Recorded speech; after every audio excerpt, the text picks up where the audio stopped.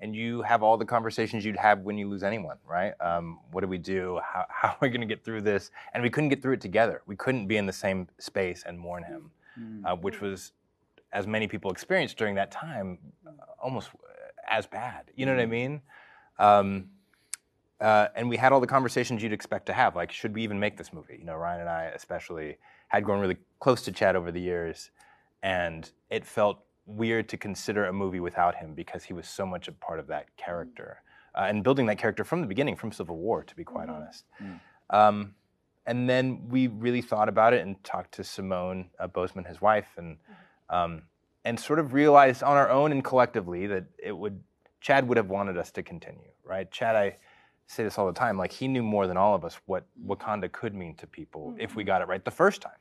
Uh, you know, and that movie wasn't the easiest to make either. And there were times where Chad would come up to Ryan, who would sort of be in the dumps about any given thing, and say, "Hey, man, don't worry about it. This is our this is our Star Wars. You don't understand."